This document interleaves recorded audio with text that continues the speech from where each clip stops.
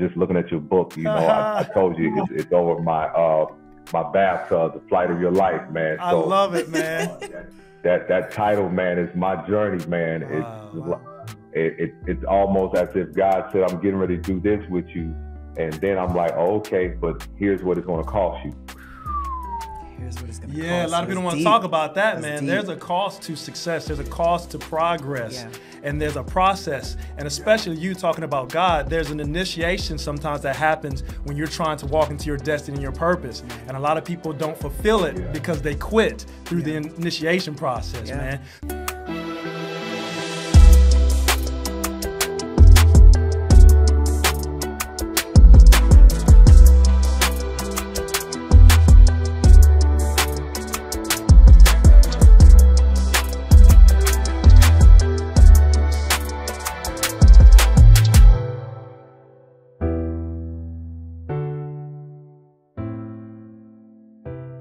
Welcome back to Aspire Higher with Charles right. and Yvana Bailey. We're so excited to have you. Today's going to be a great day. We have such a special speaker in the house.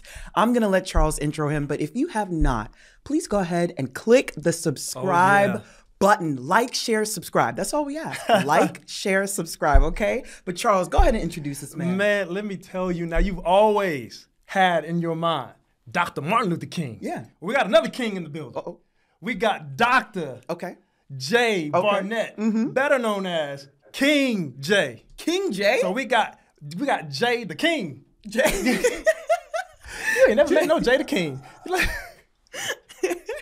well, I'm excited. What about Jay? Well, Tell Jay, man, Mr. King. former former uh, football player. Okay. Has an incredible testimony and story. Uh, went through some struggles, uh, suicide, and mm-hmm. some things that just transitioned his life. Yeah. He's an author. He's a keynoter. I already said he's a he's a doctor. Yeah. He specifically is an expert in mental health. Beautiful. He's multi, he's written multiple books. Uh, he's got uh, Just Heal Bro tour, which I know you may have heard yes, about. That is a big heal. deal. He yes. is really changing and redefining mental health, yeah. not just for men, right. but women. you know, he does culture. programs with kings and queens, as he calls them, mm-hmm. helps them to develop their their mental acuity so they can actually just grow. I'll tell you, this guy is un real. I and it. I am just honored to call him a friend and a brother. so hope I did justice by telling everybody who you are, man, because there's so much about you, bro. So much about you, man.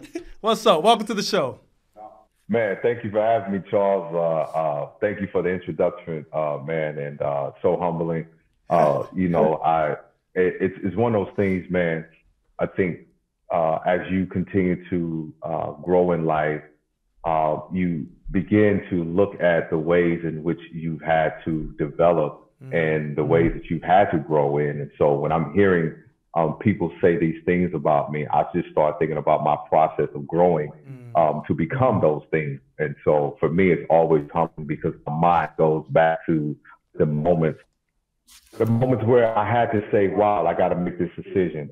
And uh, because I think you have to make a decision to grow and you have to make a decision to become. It's, it's not something that happens by happenstance. And so uh, I think about all of the intentionality that I've had to move with over the course of my life, and, and, and particularly for the past 10 years in entering to this mental health space mm-hmm. um, after mm-hmm. leaving football and, and having my challenges in, in which we'll talk about.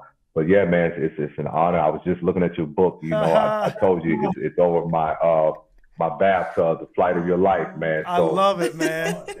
that that title, man, is my journey, man. Wow, it's wow. It, it, it's almost as if God said, "I'm getting ready to do this with you," and then I'm like, oh, "Okay, but here's what it's going to cost you." so yeah. and that's been the flight. Here's what it's going to yeah, cost. Yeah, a lot of people want to talk about that, man. Deep. There's a cost to success. There's a cost to progress. Yeah. And there's a process. And especially you talking about God, there's an initiation sometimes that happens when you're trying to walk into your destiny and your purpose. Right. And a lot of people don't fulfill it yeah. because they quit through yeah. the initiation process, man. Talk a little bit about your journey, man. I, I kind of highlighted that at the beginning, but wherever you want to start, doctor, by all means, jump right in. But I think it'd be very, very engaging for people to know about that period of time that you went through that was mentally challenging enough for you to make you question living? Mm. You, you know, for me, uh, I, I, love to start uh, in the point of, of my childhood because I think for many of us, we don't really uh, relegate uh, who we are as adults to being a to, to being merely attached to our childhood. And I, I like to say this often with clients in therapy that grown adults are just you know small children. Right. And right. when I think about my journey and where most of my challenges and issues started from, it started from not being fathered well. You know, I was the only son and my uh, dad's a pastor, and so my parents were in, in, involved in ministry. And one of the things that really derailed me as a young man was the divorce, but also at that time the character of my father, mm. because who I saw in, on Sundays was not who we lived with Monday through Saturday. Mm. So that was a bit boggling to a nine, ten year old mindset, uh, because at this age, I had already accepted Christ. I, I, I had a walk with Christ, and I also had uh, a clear distinction between uh, my father's um, work as a pastor, but also his work as a father. Mm. And mm. for me, the work as a father was where I saw him failing a lot. Mm. But at mm. nine, ten years old, you don't really understand how to voice that and articulate that to your parents. And I was a very precocious kid. Um, I understood more than what my parents gave me credit for. And I never forget walking into the bedroom one night and my mother was crying. And I knew why she was crying. Uh, I don't know why I knew that. And I knew it was something that my father had did. And, and I just remember her trying to wipe her tears. And I said, well, mama, why are you deciding to stay with dad?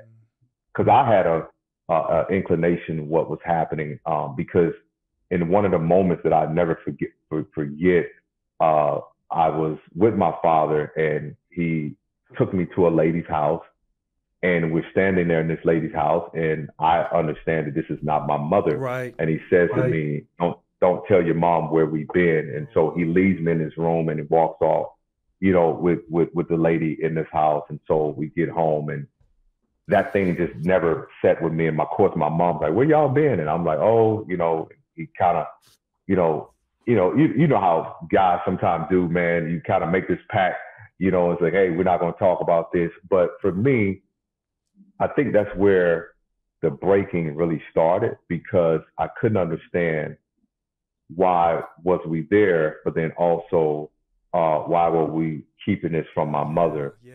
And yeah. then fast forward, uh, seeing my mother cry and not truly understanding the voice, but I knew there was a part of me that wanted to see my mother free. Mm. And I didn't know why I wanted um, to see her free. Uh, and what her tears meant to me was that she was not experiencing happiness.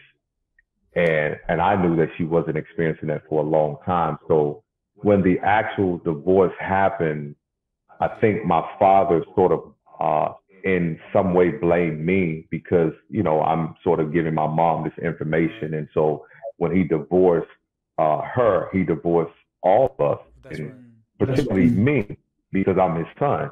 And so uh, this started so much rejection, uh, a lot of, uh, you know, seeking for validation and you know, as I've shared, I come from a family of professional athletes. My father played ball, my cousins, uncles, and so that's what I knew.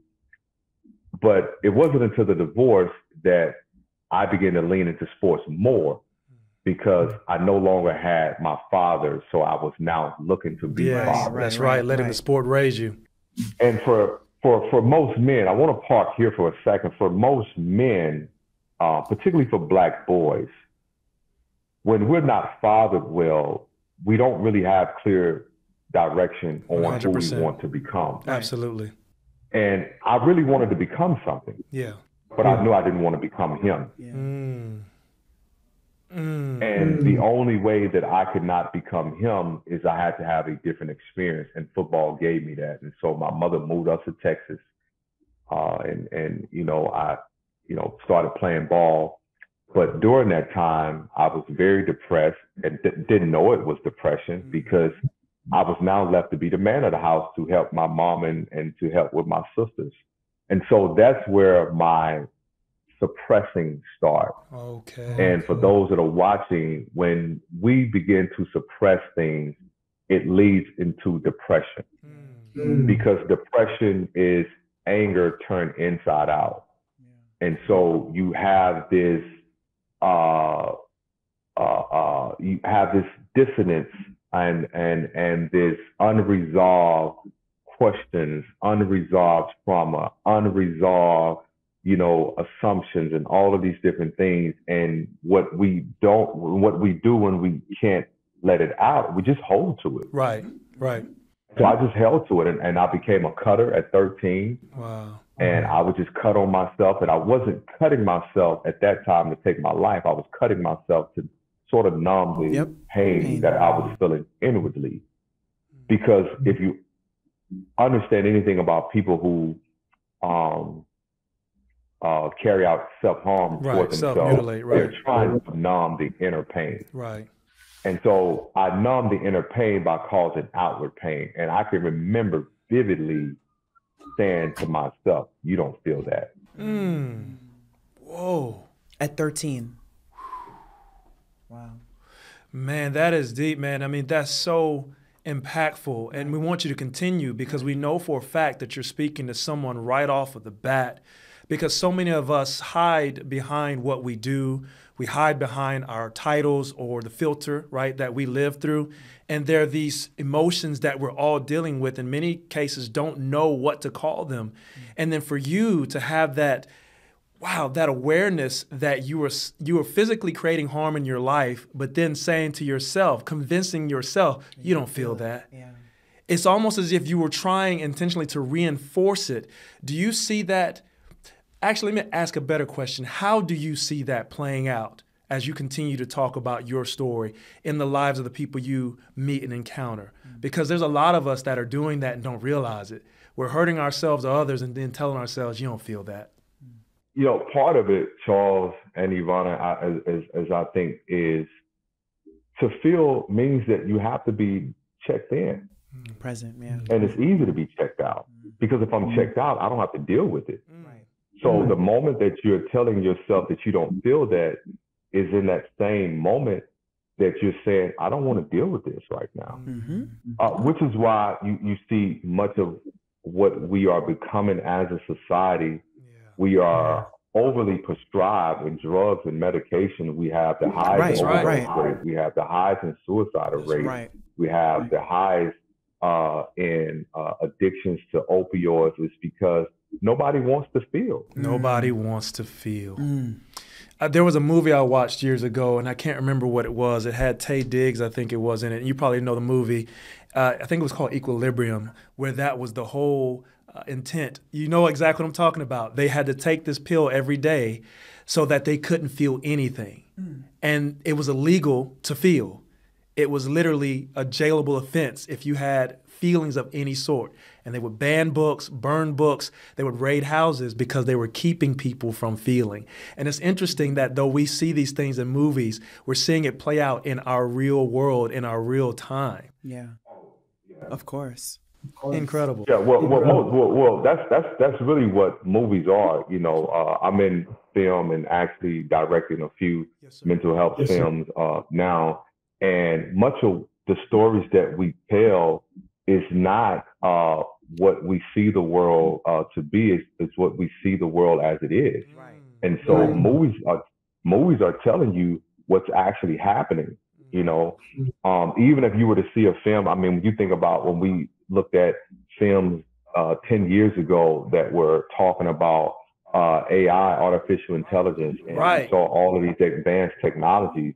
Um, this is just it, it wasn't just popping up; it was actually happening, and the movie was introducing what was actually taking place. Right. Very true. And so, what we're seeing is a society that is overdosing on social media, overdosing on work, overdosing on success, overdosing on sex, overdosing on everything but feeling. And so uh, this is why you hear so many people says, man, people are just checked out. Checked out. Yeah. Yeah. Yeah. yeah. It's so true. Because and you can't, wanna... you can't, because you don't get healing until you feel. Of course. Yes, of course. Of I course. agree with that. Of course. And you mentioned the process at 13. So, as an adolescent, when did you actually check in and what forced you to check in? Mm.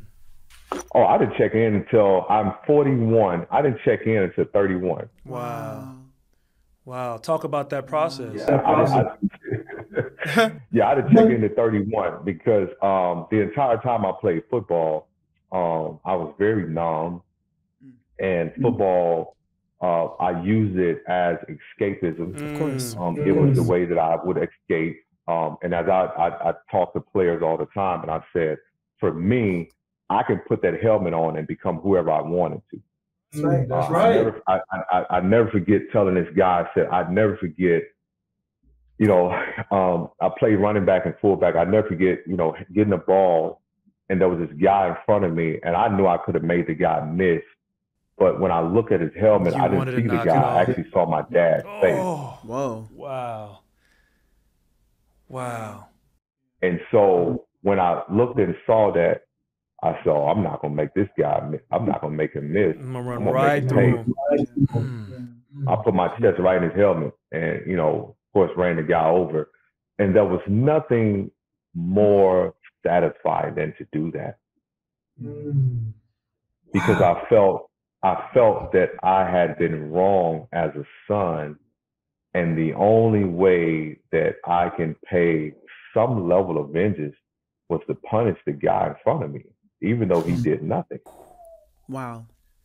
But man, and oftentimes we're punishing people that didn't hurt us mm. because we can't get to the people course, that, that, hurt did. us. Right, right, right, right. Very right. true. Very true. And when did you feel like that wasn't enough? When did you feel like, okay, I'm punishing these other athletes, but uh, you know? Well, for for for me, it was that 60 minutes that I would play was probably the best time of my life. Mm. Um, I had the most fun ever um, because I didn't think about what I had gone through. I didn't think about the abuse.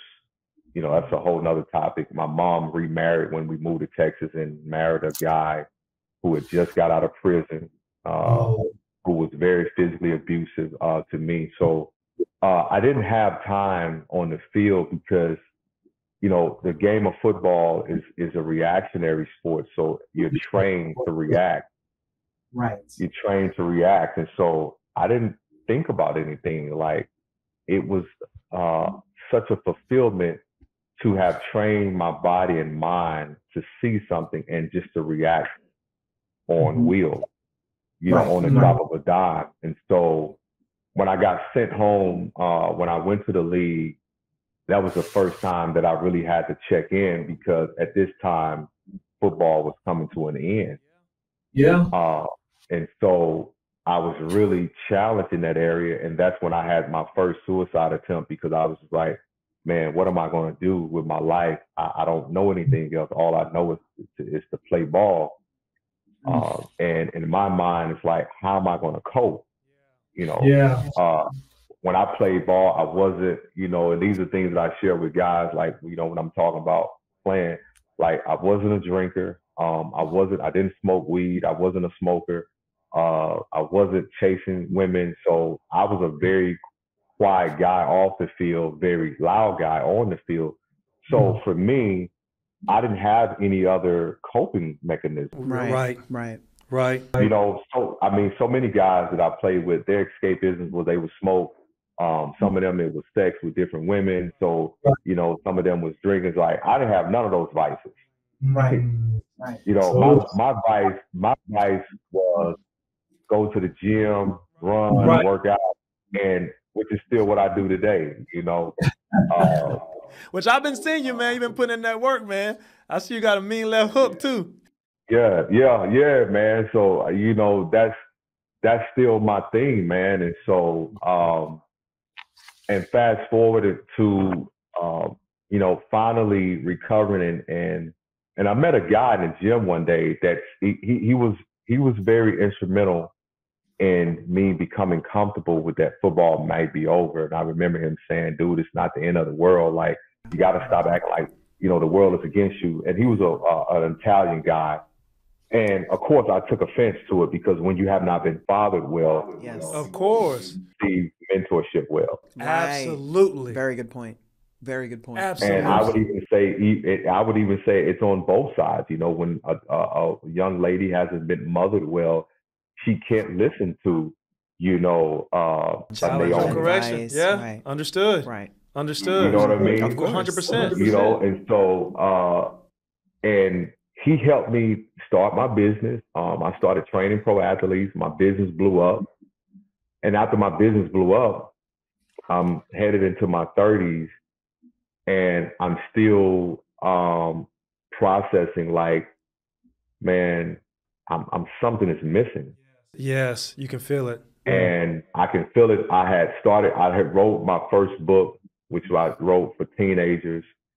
And um, and by the time that I finished that book, I wrote pieces about my father. And I remember the book getting back to my uncle, and my uncle and some of my family members were not happy that I was talking about some of the issues in our family. Mm. And so it took a turn for the worse. I thought it was going to be like this liberating moment, but it took a turn for the worse. And after this, took a turn for the worse was when I made my second suicide attempt, which I was really just trying to sort of end the pain because um, the family would talk about me. They would talk about, you know, I mean, it, bad man. And I mean, I have seven uncles. I'm talking about they. I mean, they would talk about me to my mother, you know, and uh, and so I just felt, man, you know, um, you know, as a nephew, I would think that an uncle would sort of take, you know, me under his wing or under their wings. And so, and I never had any of that from uh, from family members. Um, I was always treated like an outcast. You know, I was the darkest one in my family. Um, I grew up with an aunt that didn't like my skin tone. You know, she was very racist. Um, um, you know, I got called black ass. You know, for you know, I, I mean, bro, it, it was like like this. My story, man, is just crazy you know. So I had all of these different, uh, you know, pin points where it's just like if you touch me on my arm, that hurt. If you touch me on my leg, that hurt. I just had all these pain points. That's what yeah. we were for. These pain points where I just had so much pain, and so I was just like, man, I'm done. And I, I, yeah, I actually just talked about this on CBN um, I was talking to my mother and her and my father was on the phone and we're having a conversation and they're just kind of like, you know, why are you going to keep going through this cycle? And nobody would listen to me. Mm. Mm. Every time I tried to talk about how you things felt. he did affected me, I would just get blown away, you know, pushed to the side. And so um, eventually I just told my mom on the phone call, I said, I've had enough, man. Mm-hmm. And she's like, Jay, please don't do this. I said, I've had enough, man. And, you know, and I uh, said to her, I said, you know, I don't desire to, to keep going through this. To have a father to look at his son as if I am the problem when you caused the problem. Mm. Mm. That's hard. It's really difficult. Imagine you know, and I'm like, you know, I watch you leave my mother and marry another woman with three kids, and you were an all American dad to these. Like, yeah, you not that's how that it right, right. with your psyche, right? You know, and my mom said to me, she says, "Well, if you take your life, you can possibly end up in hell." And I said to her, very uh, com- confident with much confidence, I said, I don't care where I, where I wake up as long as I can end this pain. Wow. Wow. Wow. Wow. That's deep. So deep, man. And there are so many others that feel the same way. And know? that's what I'm thinking as we're saying that. The pain points of life. And as you continue to do the work to heal and to forgive, what actually was the indicator of you're going to live transition. life freely. You're going to live and you're going to transition into healing. You know, the, the transition into healing was something that I stumbled into um, I survived the attack and I, you know, have to get all of this help, man, and, and stuff. And so finally, friends of mine was just like, and my godmother who I was living with because, uh, and I, and I shared this, if I wasn't living with her, I would have shot myself. Mm. Wow.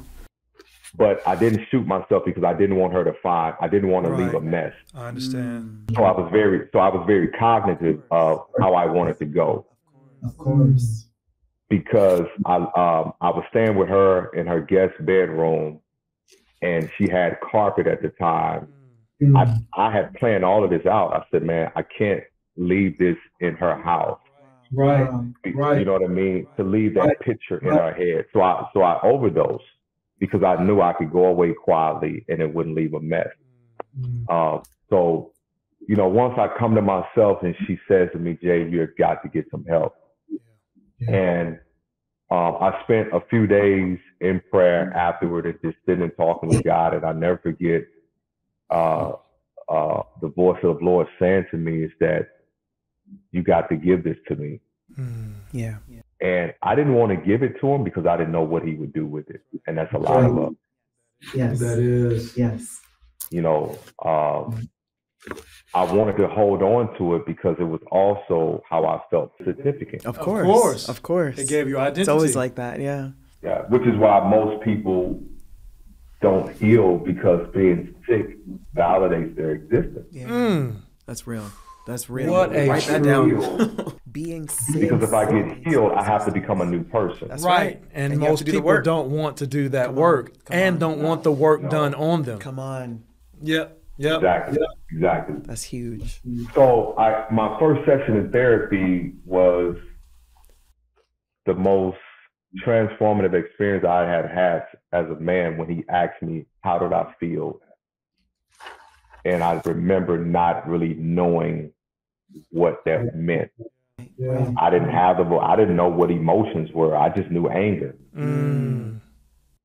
And anger is a secondary emotion. Um, it is a very low hanging fruit um, because many times what we're calling anger could possibly be rejection. Of course. That's right. One hundred percent. Absolutely. One hundred percent. Mm-hmm. You know, uh, it could be molestation. Absolutely. Yeah.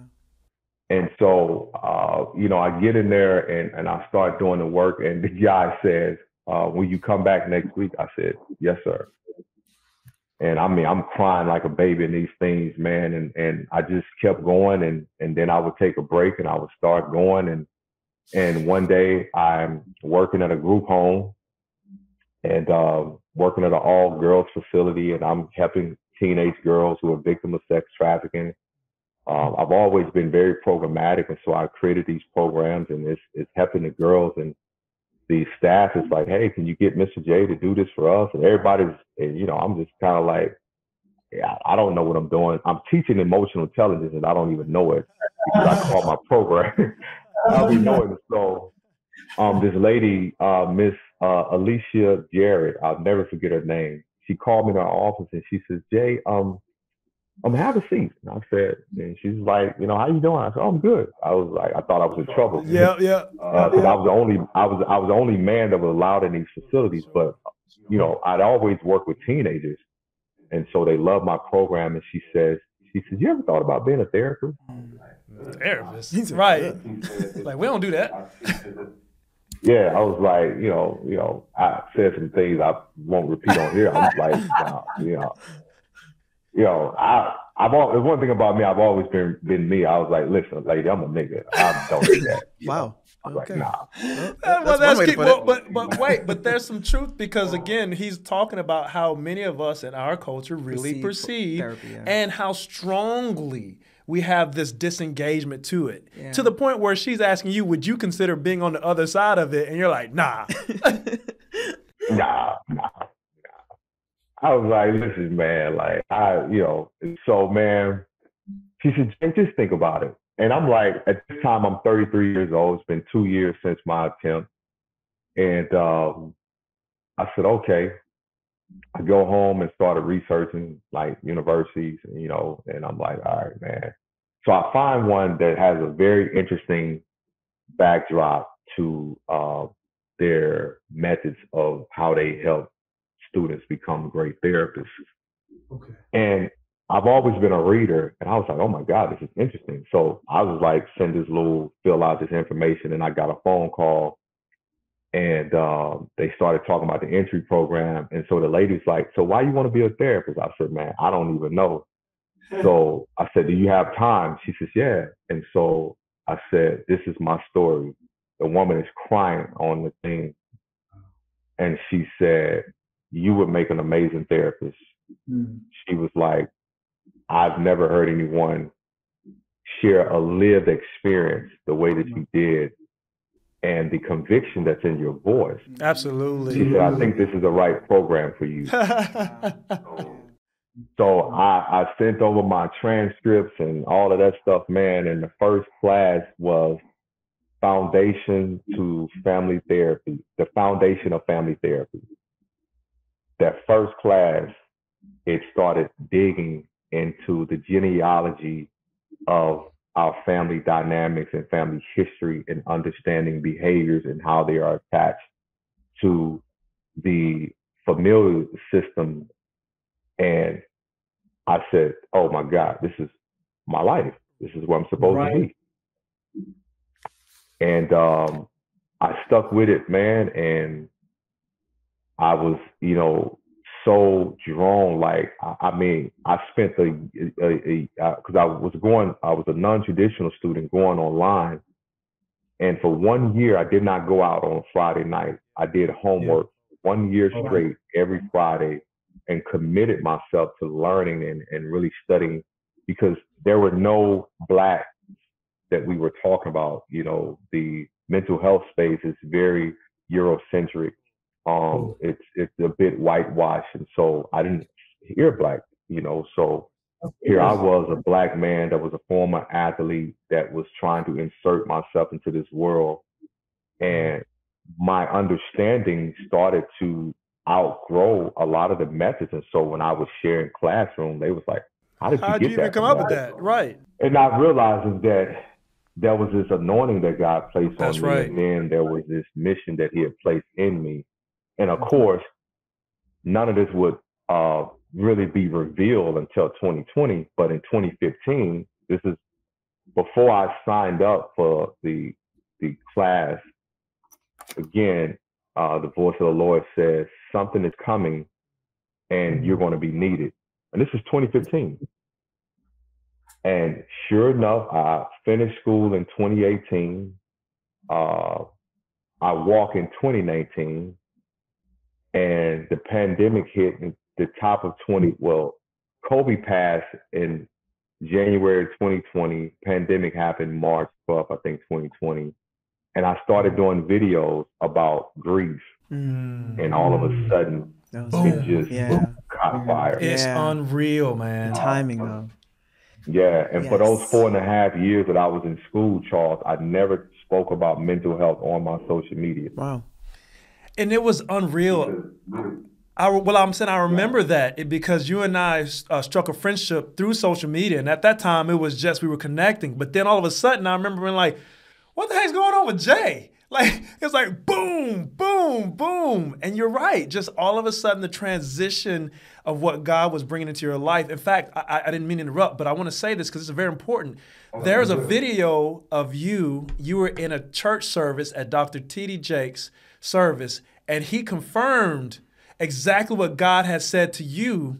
He was giving a he was literally giving a sermon. In the middle of his sermon, he stops. I don't know you, brother. I don't know what this is. I don't know who you are. But there's something there. God is showing me there's something there. And then he starts just prophesying wow. about the size yeah. and the scope and the magnitude of what God was going to do through your testimony. Wow. And that yeah, started the yeah. relationship. And before you knew it, you were just on this bullet train yeah.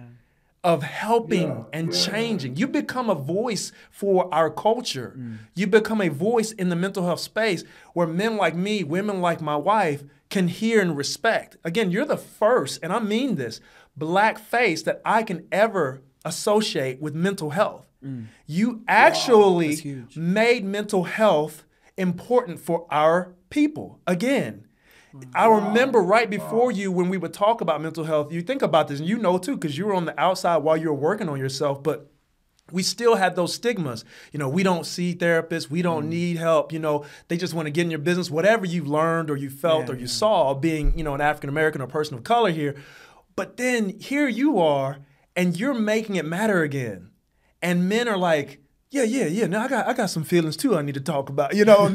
and then you right. went on the Just Heal yeah. tour. What was what was the brother's name you partnered with? Um, he played on Queen, Queen Sugar. Sugar.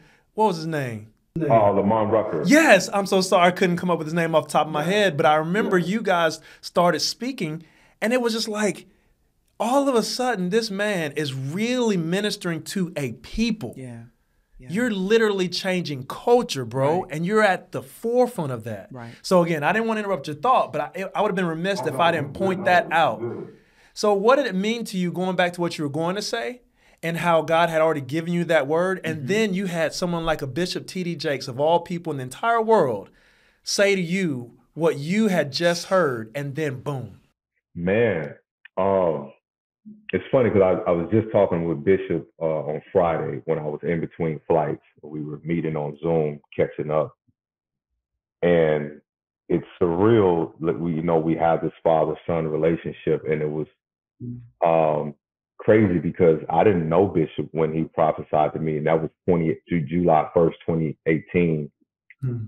and uh, and I lived in Houston and I was just up here visiting um, the church in Dallas at that time. And I relocated to Houston during the pandemic um, when I started practicing. I uh, was working in private practice. And so when we started the tour, um, it was just myself and Lamont and Lawrence. And then we brought on uh, Dr. O'Shawn. And then we brought on Dr. Joel Tugman. Uh, and so Joel and I had connected and he started uh, you know, um, I, I, again, I didn't. None of this was privy to me, so I didn't know Bishop was following my work um, at all. So Joel comes on, and and of course, you know, if you're doing anything under Bishop, you can't do it without his permission. Yeah. So Joel had to get his permission to come on the tour with me. So one day we're in um, Houston, and we did um, uh, a, a date here in Dallas and the city uh, presented us with a, a, a, a, proclamation. And Joel didn't get his, so I said, "Yo, I'm gonna come to church on Sunday, and I'll bring you yours." I saw that. so I bring it. So I bring it to church. This is this is May 2022. Wow. Um, so I bring it to church, and Joel's like, "Yo, come to the back." So when I come to the back, you know, I got my backpack and I was like, yo, man, McGee, this thing, Bishop is back there. Mm. And so I turn around and uh, Bishop says, hey, how you doing? And, you know, I'm like, man, how you doing, Bishop? And he was like, yo, I love your work, man. I, I love what you're doing for men. And he stepped back and he starts prophesying. And he says to me, he says, you're healing ancient souls. No, he said you're healing, you're healing ancient wounds. Wow. And he's and you know, he's in his his like you're standing on the open heaven. And so I said to him, I said, I said, Bishop, I gotta show you something. I pulled up the video in my phone and I showed him this, and he looked and he started crying. Oh my gosh. And he said, Wait a minute. He said, That's you? I said, wow. yes, sir. He said, man, I always wondered what happened to you. Wow. So he had no idea that hmm. I was the guy that was behind Just Heal, bro, that he had prophesied. Oh my gosh. what, what amazing, That's amazing, amazing. just the just testament. The testament. I mean, he, he just grabbed me and he just kept hugging me and he wouldn't let me go. And he stepped back into the moment. He said, I remember it like yesterday. And then some of the pastors was around and they was like, Yeah, I we remember. all remember it. And he said, I, he said, You were sitting right here. I was standing right there. He said, I'd never forget that day. Wow. He said, I always wondered what happened to you. He said, You built all of this since then. I said, Yes, sir. Then. He said, You go to my church? I said, Yes, sir. I'm here every Sunday. And he said, Where do you sit? I said, mm. I sit in the back. And he said, uh, Oh, there's why, so much. Why, he said, why, why, he said, why are you just now coming to me? Right. I said, um, I don't know, Bishop. I said, I, I, I probably wanted it to be organic and to sort of be a God uh, right. moment. Right. And so he asked me, he's like, um, he says, I think I know why you didn't come, but I said, well, Bishop, I'm gonna just be honest, man. I'm a real nigga. Mm. Just like that. Mm. I said, I was gonna build this thing brick by brick. Regardless. And he stepped back and he said, I respect you for that. Because mm. I didn't want him to feel that I wanted to partner with him. Yes, right, come right, on, to bro. get the help. That's exactly. right. That's exactly. right. That's right. That's right. Wow, this is so great. Building it outside of the church, you have a greater respect for what the for the work that I've done outside, for the work that I can do inside, because I now can pull men who would never go to church. Come That's on, right. bro. Absolutely. right. Absolutely. I always say if you're fishing in the fish market, it's not fishing. Mm. Mm. That's a good one. So, exactly. And um, he said, You need to come around more. And we started building a friendship and started building. He said, You're my son. Mm. He said, It's one thing to be a son that's lost outside of the house, it's another thing to be lost Inside the Yeah, house. yeah, yeah. Come closer. Yeah. Wow. And he said, Come closer so I can father you. Mm. Wow. And man, it's it's been humbling because uh, my father and I have we haven't necessarily repaired uh, the relationship. It's stable, but Bishop can give me what I need at this level Sure. because I'm flying at an altitude that my father has never flown. Never. Right, right, right. right, right. And couldn't. When I tell you I am being ministered to myself. So that's why when you uh, when you sent that book, The Flight of Your Life, man, it's a testament to what my story has been. It's been this this flight of my life that, you know, it's changed altitudes. Uh, I've had to land a few times. I've had to drop off some luggage. Come on, bro. Right, right.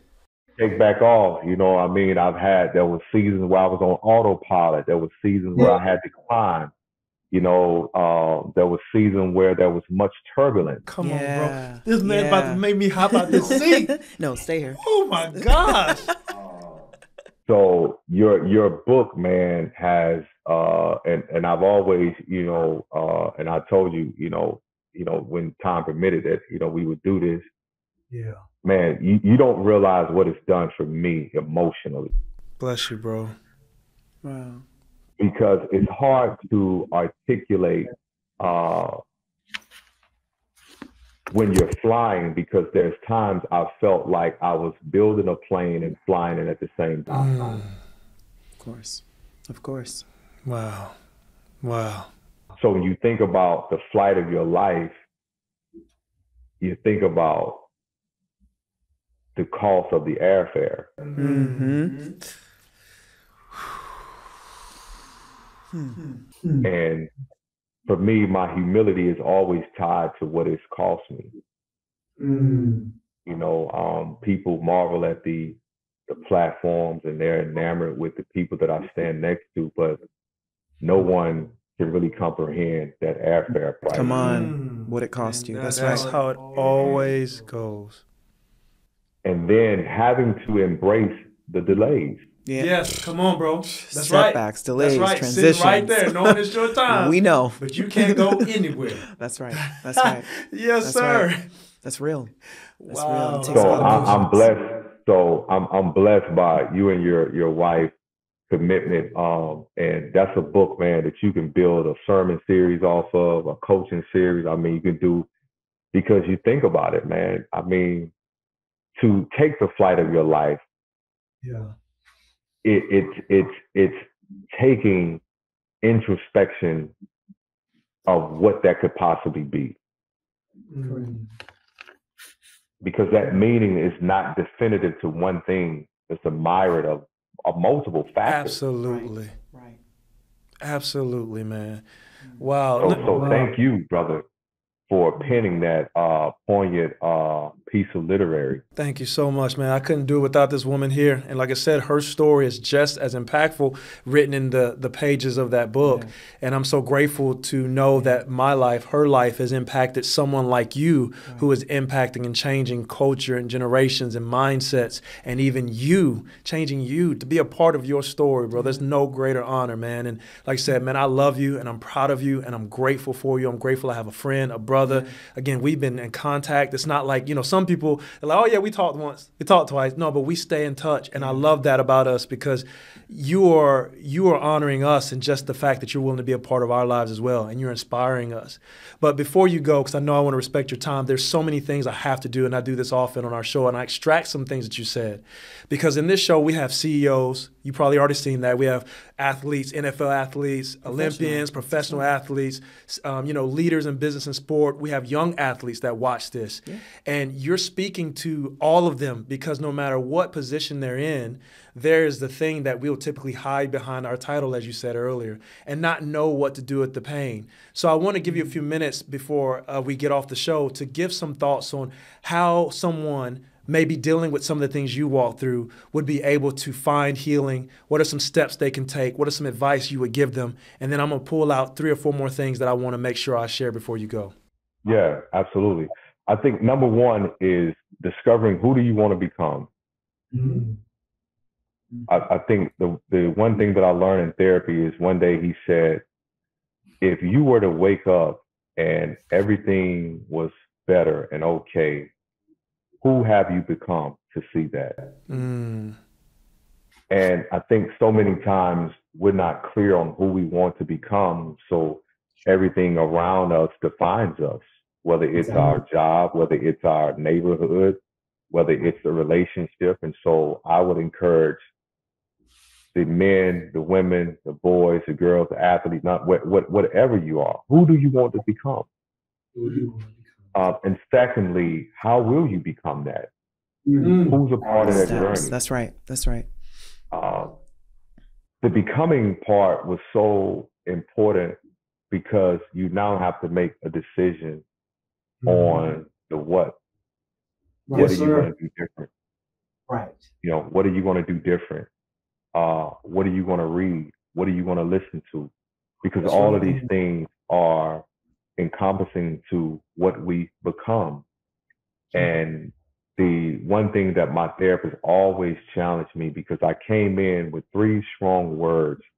I never forget it. Uh, my three words at that time that defined how I felt was loss, uh, no confidence, mm. and inadequate. Mm. Like I didn't, I didn't, I remember sitting there in tears and I was like, man, I don't, I don't know what I'm capable of besides putting a yeah. ball in my hand. And I think it's important for, particularly for young men to understand their abilities so you have clear insight on your capabilities. That's right. Um, and, and so, uh, and this, this help you to foresee what you can become. And what what I wanted to become, Charles, was free. That's all I ever wanted. Yeah.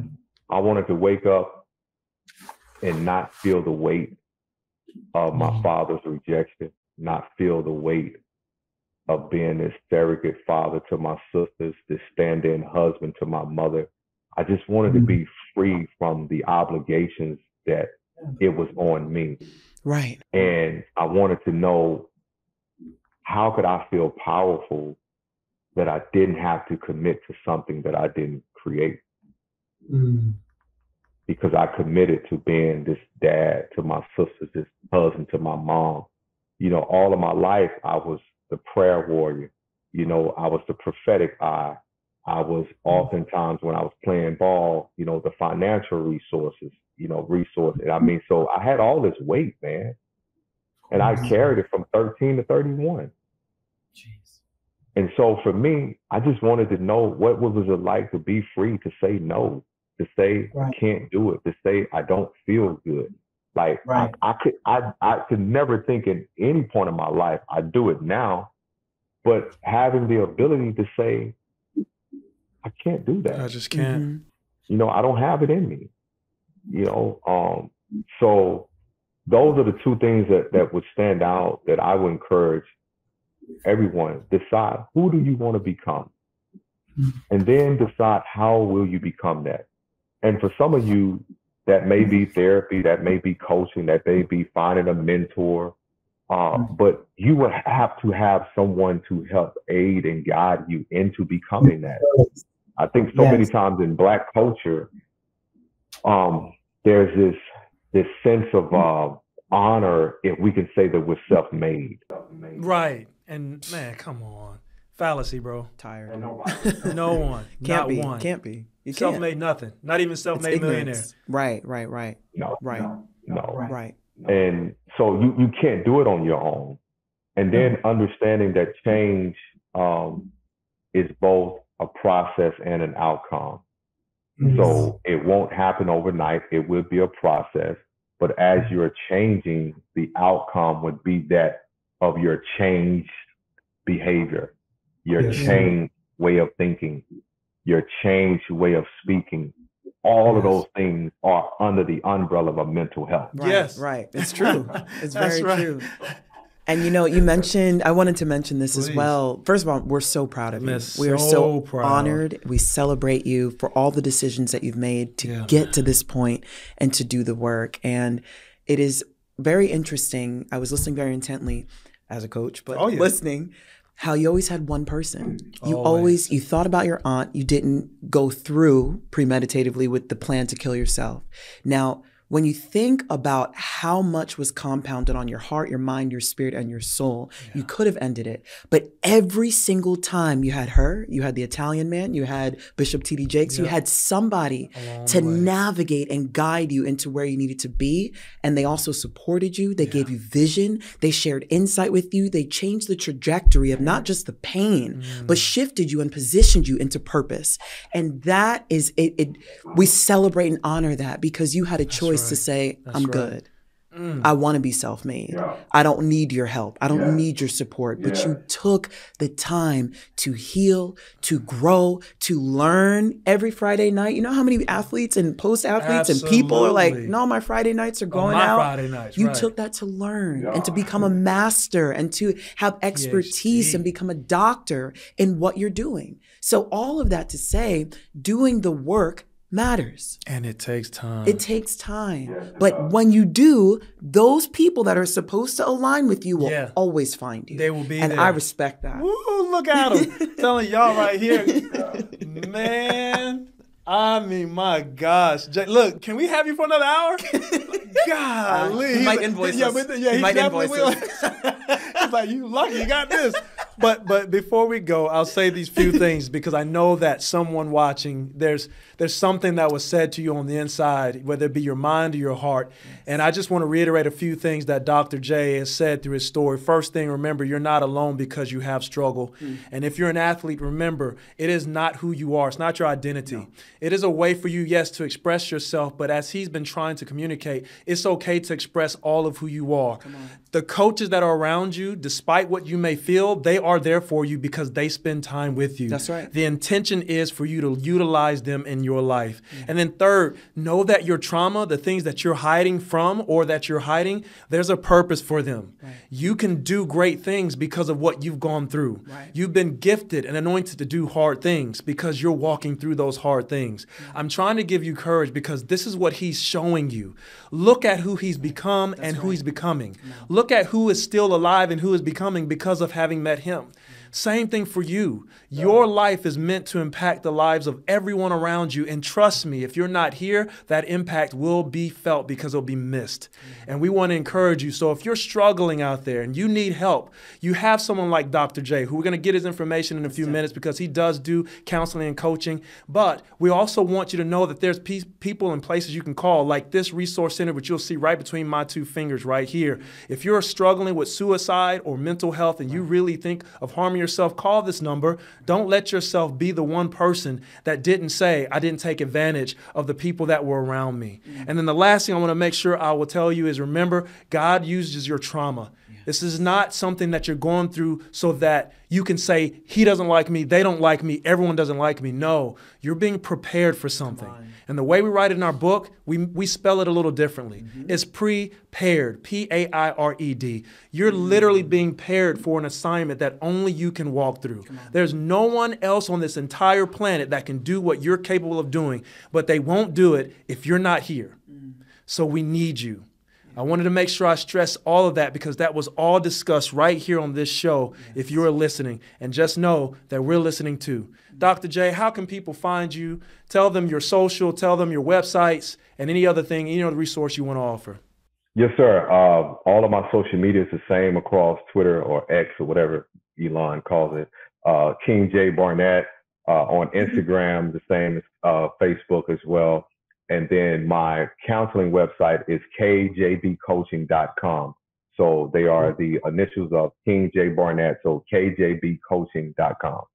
Man, we appreciate you, Jay. Honored. Oh uh, my gosh. Thank you. Man, what you've you added so much me. depth. Thank you so you much. You are not kidding. Sheesh. We've needed someone to speak to this yeah. for a long time, and, and we're grateful that it's you. That has, yeah. Thank you. Thank yeah, you. absolutely, thank man. You. Thank you guys for having me. Of course.